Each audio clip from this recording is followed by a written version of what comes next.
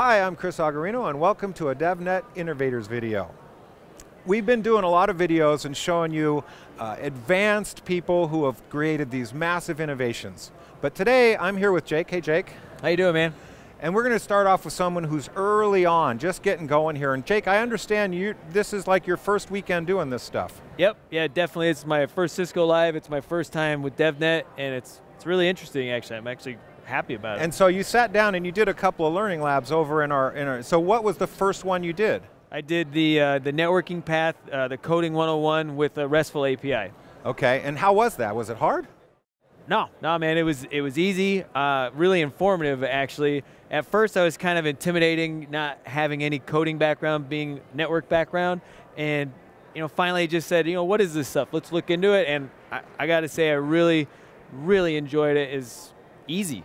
And so you're here at Cisco Live, and one of the cool things that you can do when you're here at the show is we have the experts walking around. But right. you didn't need their help, or did they come by? They came by. They checked on me. Uh, I felt safe. You know that was important, and uh, I, I was able to make it through no problem.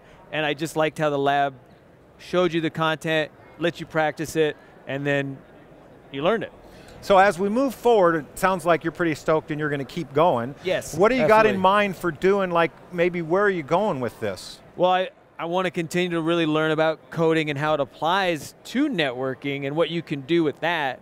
It seemed like it opened a toolbox that I hadn't known about before or was you know, a little bit too shy to look at maybe, and, and now I feel like whatever I think I can, whatever I think I can, I can. You know, I mean, really, you can just program anything and it I plugs think you're in. Right. I think you're right.